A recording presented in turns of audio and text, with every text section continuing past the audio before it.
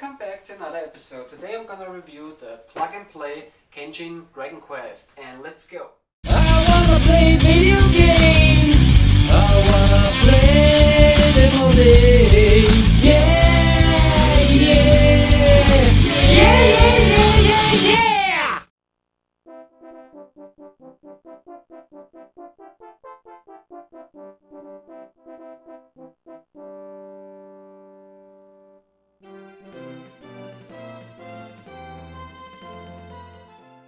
Kenshin Dragon Quest is a plug and play hack and slash adventure game that is based on the Dragon Quest series. Kenshin is the Japanese word for Swordmaster. It was released by Square Enix and also developed by Square Enix in the year 2003 but only in Japan. The game is almost completely in the Japanese language and for me this was a downside because I could not follow the story of the game and also because the game gives you hints on how to fight certain enemies so there was a lot of try and error for me in this game. But in the end it was only released in Japan so why would they change the language? Also you should play this game on uh, NTSC TV because I've tested it on three different TVs on an old PAL TV and of course it was only in black and white. I also tried it on this one but this one can play both PAL and NTSC signals so it worked perfectly. And I also tried it on my HD TV and yeah, there it worked also perfectly. Okay, about the storyline. The game takes place in the world of Alefgard, which is the same world like the first Dragon Quest game, and you play a warrior who is a descendant of Roto. And your quest is to rescue Princess Laura and free the kingdom of Alefgard from the evil Dragon Lord. The quest is broken into 8 chapters that will take you throughout all the locations of Alefgard and at the end of each chapter you will fight a boss character. Okay, now that we know the storyline, let's take a closer look on the box and yeah, what's inside. Here we have the box and as you can see it is very colorful and I really like the artwork, it charms the eye in some kind of way and on the back you can see some gameplay footage or better let's say some screenshots of the gameplay and yeah like I said everything is in Japanese because the game was released in Japan. Yeah, that's basically the box. Let's take a look what's inside.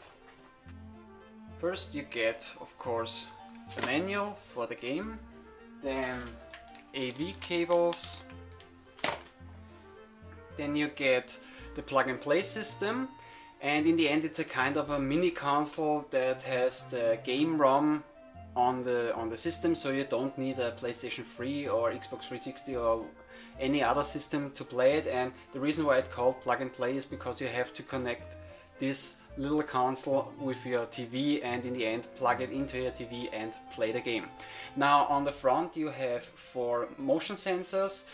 The shape of the system it looks like a shield and on top you have a red light and when you turn on the system it lights up red and on the back you have your on and off switch you have an AV connector and also a connector for an AC adapter over here we have a memory cartridge slot and yeah you can also play this system with batteries you just have to unscrew the screw and uh, put in four AA batteries and yeah this was the console and now to the memory card because this must be the coolest looking memory card that I've ever seen because it looks like a little book.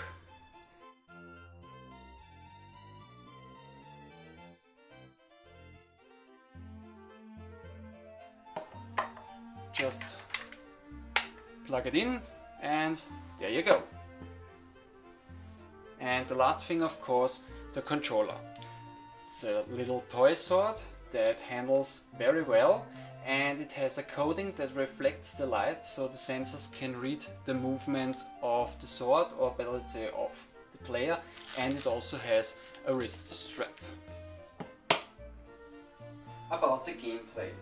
You can compare the gameplay of Kenshin Dragon Quest to a light gun shooter or a rail shooter because most of the game is set on a predetermined path that you can only travel in one direction with few exceptions of side paths. You have three different attacks, horizontal, diagonal and vertical. To move the cursor in the menu, you just have to point the sword and to make selections, you swing the sword. You can also use your shield by showing the broadside of the sword to the screen and to move forward in the game you just have to point forward and throughout the game you will learn some magic spells and to bring up the spell book you have to be in the shield position and move the sword closer to the sensor. Now by hitting enemies and blocking attacks you will build up a sword meter and when this is completed you're unable to unleash a super attack. The game has some few RPG elements, like, yeah, you get experience, you level up, and you get more hit points and more magic points, but that's it. Then also you will um, collect some coins throughout the game and those coins can be used to buy items at the shop. The learning curve in this game is very good because um, First you have a tutorial, then the game starts very easy and the further you get, the harder it becomes. Okay, enough with the talking. Now I'm gonna embarrass myself in front of the camera by playing one of the chapters, but I'm gonna do this in style.